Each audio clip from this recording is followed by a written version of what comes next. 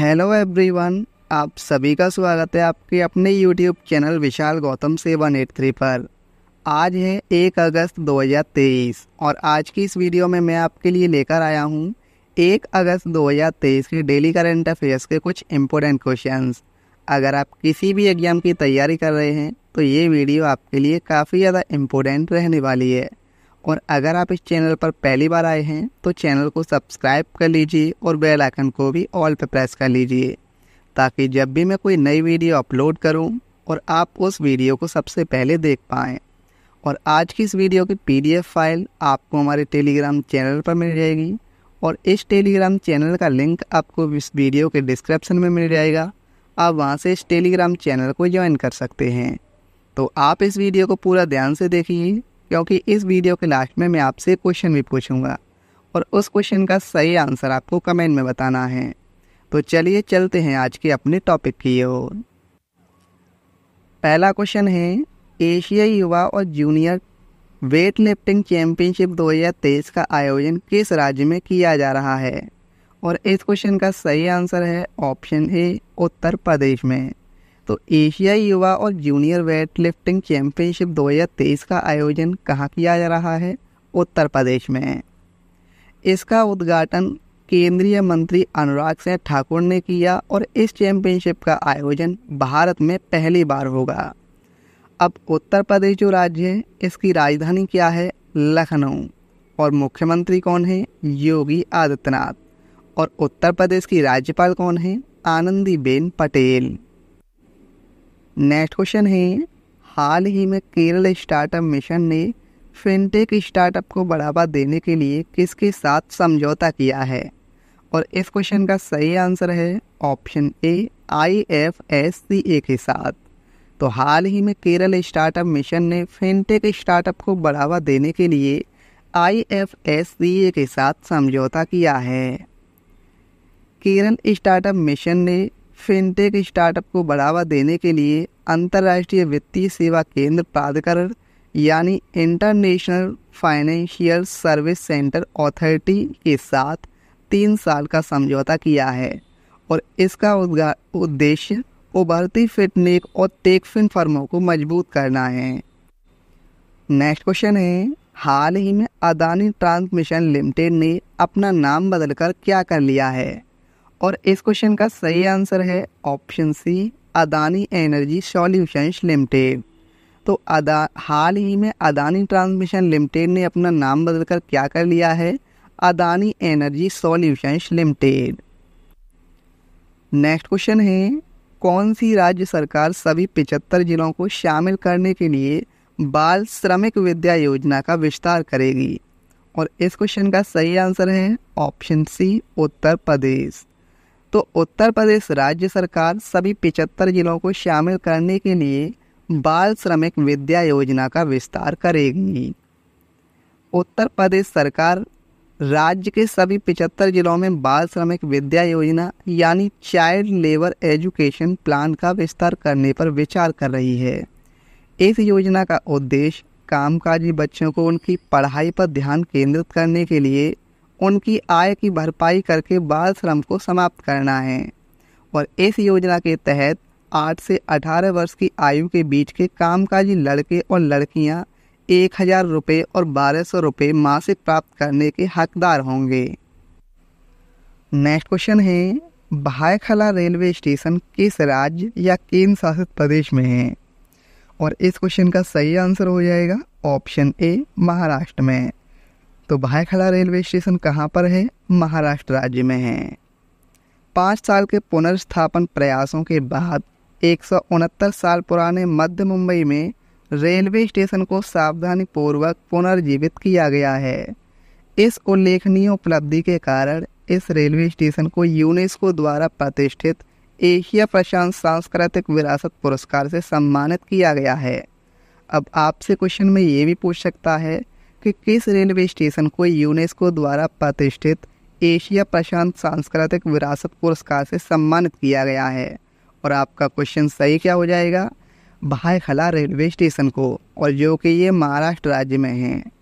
हम महाराष्ट्र जो राज्य है, इसकी राजधानी क्या है? मुंबई। महाराष्ट्र के मुख्यमंत्री कौन हैं? एक नाथ शिंदे।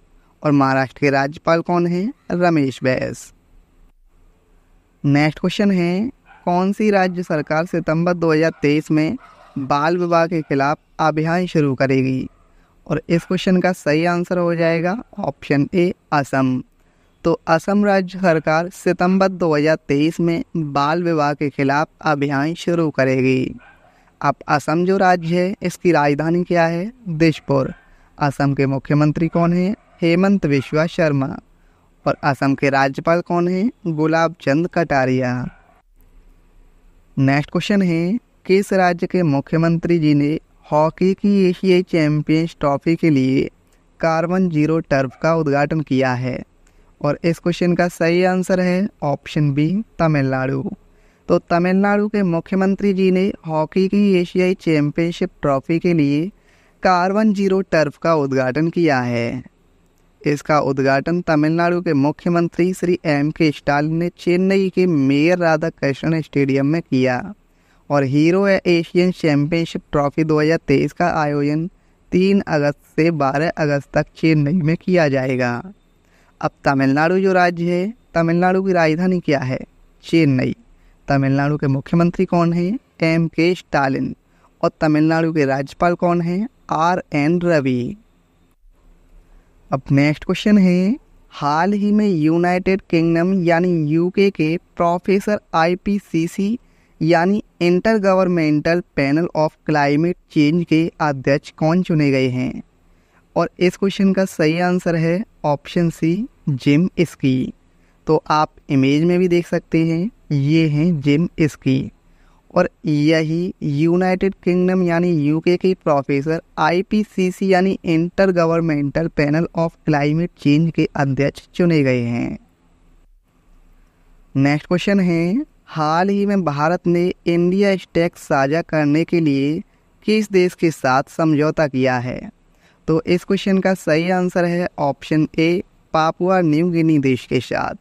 तो हाल ही में भारत ने इंडिया स्टैक साझा करने के लिए पापुआ न्यू गिनी देश के साथ समझौता किया है।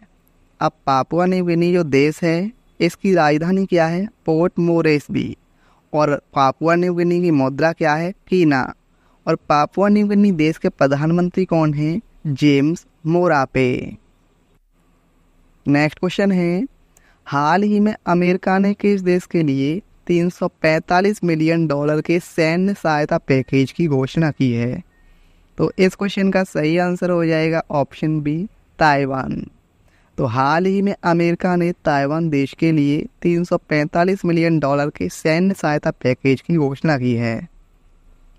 इस पैकेज का उद्देश्य ताइवान को चीन का मुकाबला करने में मदद करना है. अब ताइवान जो देश है, इसकी राजधानी क्या है? ताइपे सिटी ताइवान की मुद्रा क्या है? न्यू ताइवान डॉलर और ताइवान के राष्ट्रपति कौन है? तसाई इंग वेन नेक्स्ट क्वेश्चन है, हाल ही में भारत की पहली ऑनलाइन गेमिंग अकादमी किस राज्य में खुली है?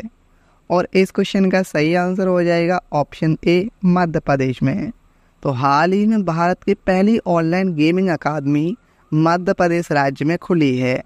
अब ये मध्य प्रदेश राज्य में खुली है तो जानते हैं मध्य प्रदेश राज्य के बारे में।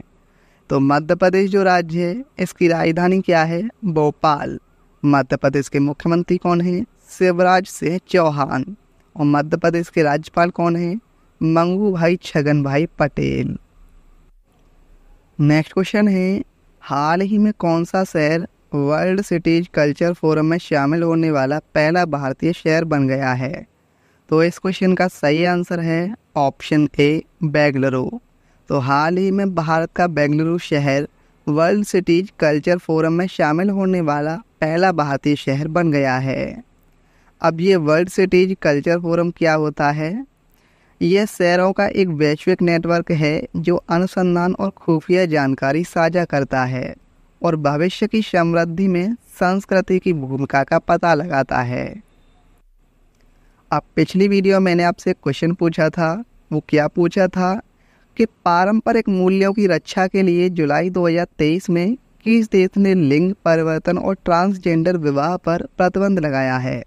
तो इस क्वेश्चन का सही आंसर था ऑप्शन सी रूस तो पारंपरिक मूल्यों की रक्षा के लिए जुलाई 2023 में रूस देश ने लिंग, परिवर्तन और ट्रांसजेंडर विवाह पर प्रतिबंध लगाया है। अब आपके लिए आज का क्वेश्चन है, जुलाई 2023 में किस राज्य ने डॉक्टरों की सेवानिवृत्ति की आयु बासठ वर्ष से बढ़ाकर पैंसठ वर्ष कर दी है? तो इस क्वेश्चन का सही आंसर आपको कमेंट में बताना है। अगर आपको ये वीडियो आज की हेल्पफुल लगी हो तो आप इस वीडियो को अपने दोस्तों के पास ज़रूर शेयर करना। और अगर आप इस चैनल पर पहली बार आए हैं तो चैनल को भी सब्सक्राइब ज़रूर कर लेना। तो चलिए चलते हैं। जय हिंद, जय भारत, वंदे मातरम।